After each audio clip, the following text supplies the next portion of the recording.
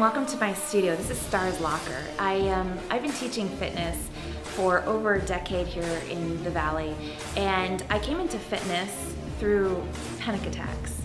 Um, I was an investment banker traveling uh, around the world quite a bit, particularly Japan, back and forth to Japan. And I had what seemed to be heart issues when I was in my 20s.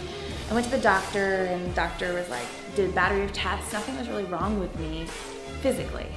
Um, I looked like I was in shape, nothing wrong with my heart. And then he asked about my job. And when I described my job and kind of all the travel entailed, the, the jet lag and so forth, he um, asked me had I thought about quitting my job. And I said, no, I, I, I love my job. And he said, well, you need to find a way to make it more sustainable. And then he asked me, do you like the gym? And I said, yeah, I go to the gym. I'm in shape, you know, and, and I would make quite a bit of effort to stay in shape. Even when I was in Japan, I would get up at four in the morning go out running or walking or whatever I could do um, to kind of maintain my level of fitness. But what I noticed after he asked me this was that when I would go down to the local gym and hit the treadmill, for example, I would still be thinking about work. I was never really turning off my work brain and I wasn't getting that separation from work that we all so need.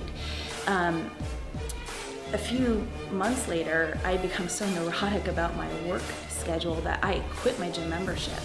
And on the last day of my gym membership, I was dragged into a body pump class, kind of kicking and screaming by some prototypical gym instructor, you know, really like cheerful, kind of, you know, one of those people. And, and I loved the class. And I was actually on my way, you know, heading out to Japan, and I noticed I was sore for like three, four, or five days. And I'm like, well, there's something to this. I knew I should be lifting. I would lift on occasion, not not in any dedicated way. But I always felt kind of confused as to how to work a piece of equipment, how much weight to put on, how many reps to do. And I found that body pump just took away all that guesswork. Plus, it was to music, which I really like.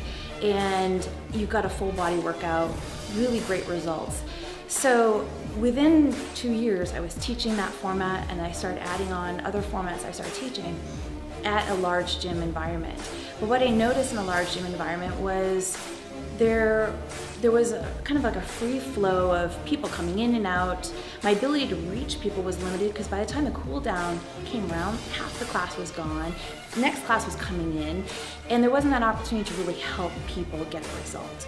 And what I've observed with classes in my own experience and watching others is that it can't just be enjoyable and it can't just be effective. It has to be both to keep you coming back.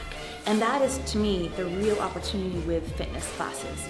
It, it, takes away the dullness or the boredom of something like a treadmill or just lifting weights mindlessly. We're doing it together, there's energy about it, and when you have a great format, you're gonna get a great result. So I've brought my favorite classes into the studio environment.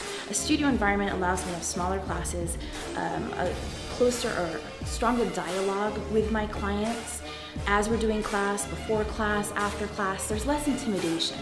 There's, um, and there's also more of a cross, I want to say a cross result or cross breeding result with the formats because they all do work together.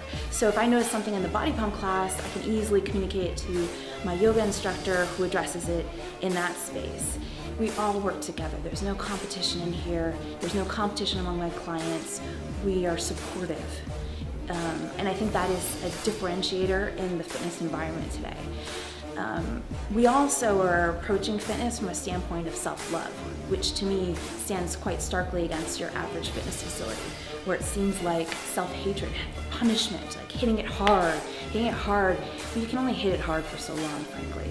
And in fitness, your biggest, like your, the, the biggest component to getting results is your consistency.